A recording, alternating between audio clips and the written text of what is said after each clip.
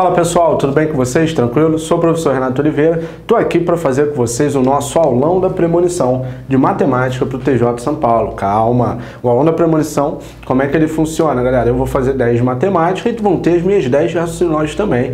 Marcão também vai quebrar tudo, show? E tem um bônus que você tá vendo aí, só você ir nos vídeos você vai ver, tá legal?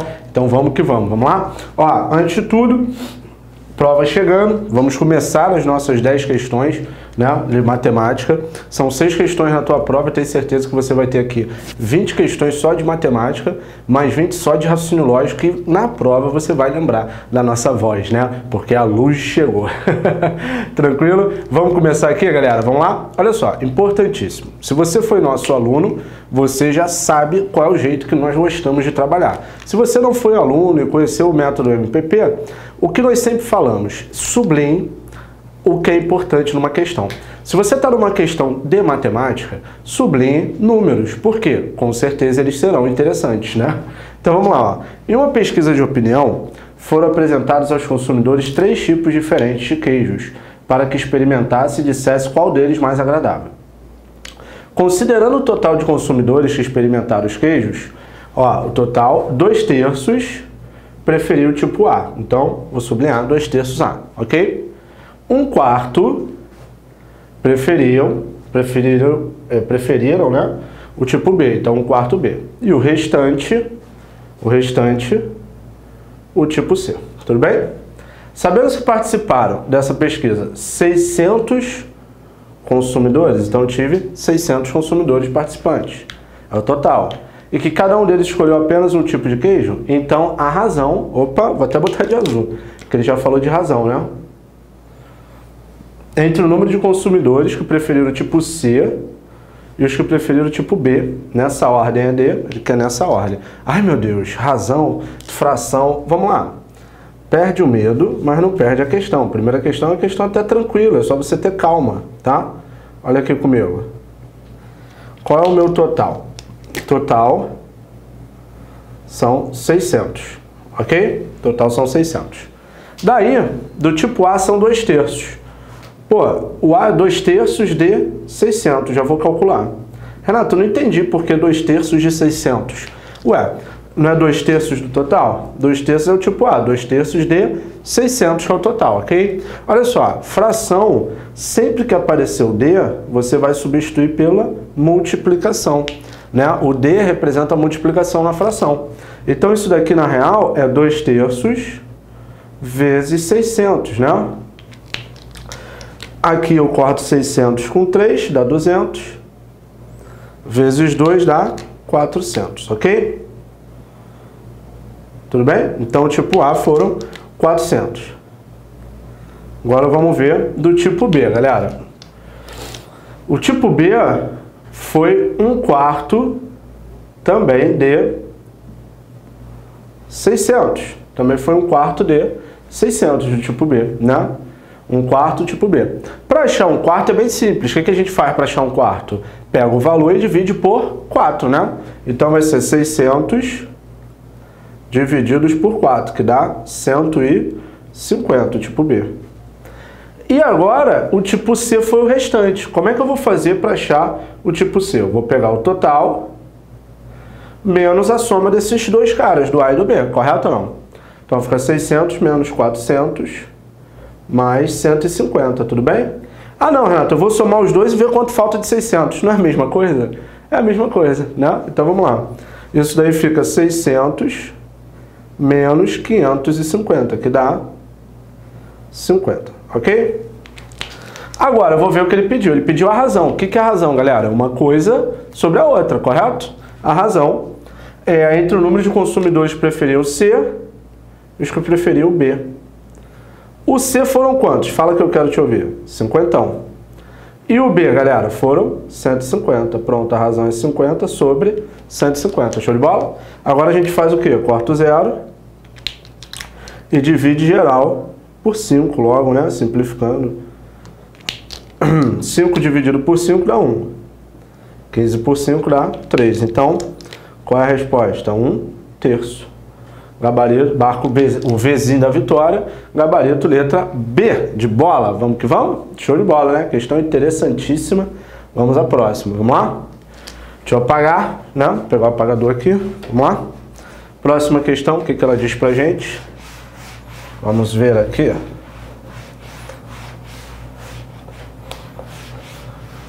Vamos lá, próxima questão. Ó.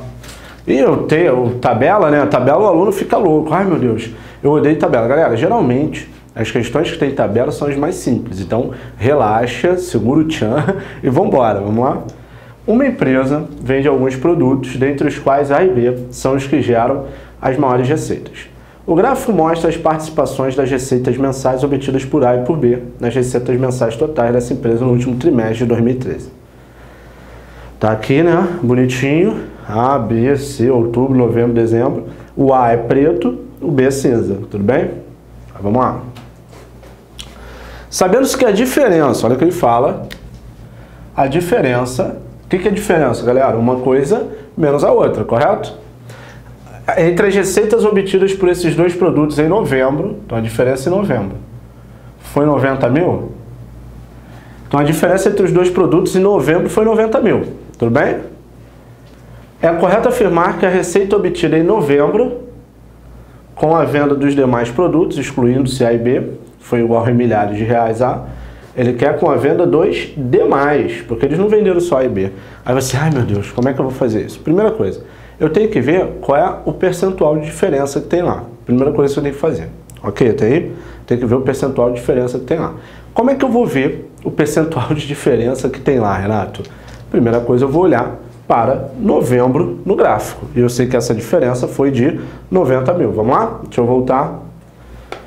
Deixa eu apagar aqui. Você sublinhou aí bonitinho, você está com material, né? Acompanhando. Então vamos lá, novembro está aqui. Então eu tenho que olhar para esse cara. Eu sei que a diferença entre eles foi 90 mil, correto ou não? O A né, teve 35 e o B teve 45, correto? Em novembro, é novembro mesmo que ele falou? É, novembro. Então, o A teve 45, é, 35 e o B, galera, 30, não, 35 não, perdão, 30, né? Tô maluco, olhei para cima. Muito cuidado, né? Fixa aqui 30% e o B teve 45%, ok? Tranquilo aí? Show de bola? Beleza. A diferença entre eles foi de 90 mil. Ou seja, a hora que eu fizer, deixa eu botar aqui no cantinho, 45%, né? ou seja, fazer assim que é melhor, 90 mil vai ser 15%. Ué, por que 15%, Renato? Vou botar aqui em cima, ó, 45 menos 30, que é a diferença dos percentuais. Ok? Ficou claro? A questão falou que a diferença entre eles em novembro foi 90 mil. Então, 90 mil corresponde a 15%, que é a diferença percentual. Só que a questão pediu as demais. As demais, galera, você vai ver aqui, ó, os dois juntos, 45 mais 30, 75 em novembro.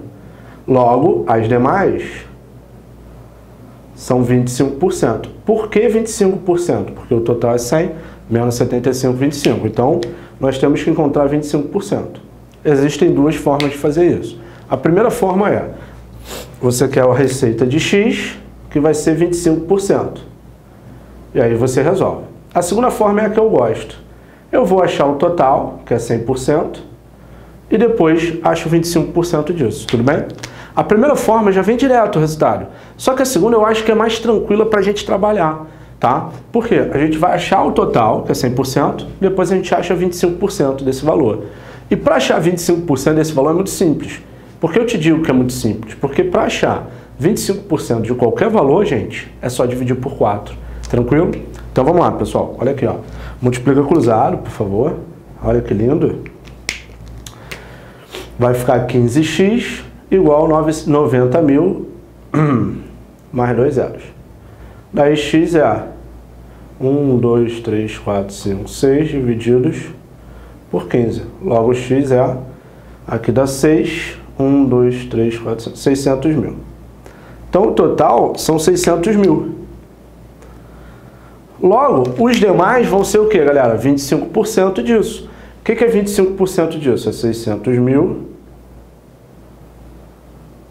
divididos por 4, esses são os demais, que vai dar 150 mil. Olha que lindo. Nem doeu, viu? Foi tranquilo. 150 mil. Vamos ver qual é a resposta. Letra É, porque ele pediu em milhares, né? Então marca o V da vitória. A letra E, eu vou voltar para você dar um pause e parar. Gabarito letra E, marca o Vzinho da vitória. Pediu milhares, 150 milhares, né? Correto? Show de bola? Maravilha, maravilha, maravilha. Vamos quebrar tudo na próxima? Vamos lá? Legal, né? Vamos lá para a próxima. Ó. Deixa eu apagar aqui. Para, pa, pa, pa, pa, Nada disso. Para, pa, pa, pa, nada. Vamos lá? Com a gente, ó. Vem com a gente. Ó, Sandro fez um depósito por mês em sua caderneta de poupança. Fala pessoal, tudo bem com vocês? Tranquilo? Essas foram as primeiras questões do nosso aulão da premonição. O que é o aulão da premonição? Aquela revisão final focada na banca VUNESP para você arrepentar no TJ São Paulo interior. Show de bola? E nós temos uma surpresa. Fala para mim, Renato, com a surpresa? Não, você mesmo vai ver. Sabe como? Clica aí na descrição, tem o link do curso. Você já vai direto para lá e lá você vai descobrir qual é a surpresa. E também você pode clicar nesse zinho que está aqui em cima, o card, também já vai direto para lá. E no final do vídeo vai aparecer aqui em cima o link também. Show de bola? Então, tô te aguardando e tô esperando também o churrasco, pro, o convite para o churrascão da aprovação. Valeu? Um beijo, até a próxima.